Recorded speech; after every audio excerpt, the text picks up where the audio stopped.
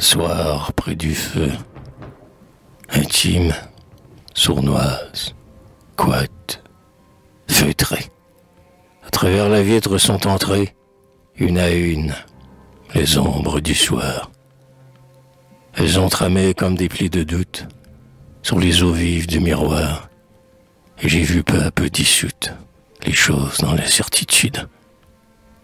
Et je suis demeuré avec ma solitude.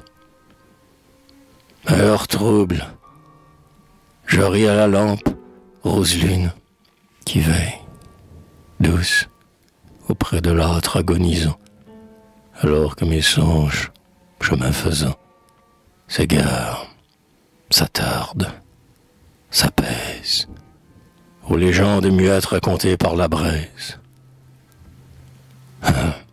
Soir d'enfance évoqué peu à peu, dans ce miracle intime des cendres et du feu, de la bûche crissante et rongée. Voici, le palais brûlant de la fée s'érige.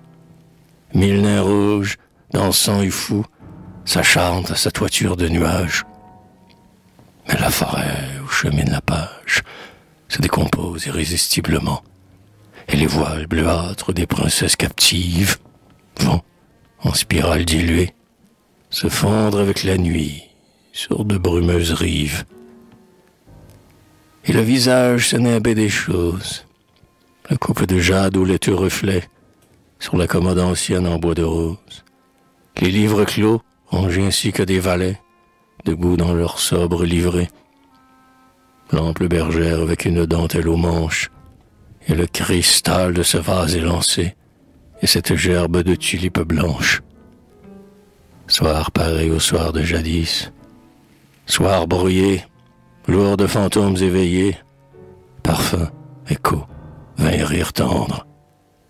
Pareil et dissemblable, ici brouillé de cendres, l'horloge au tic-tac monotone a sonné, la lampe s'éteint par degrés.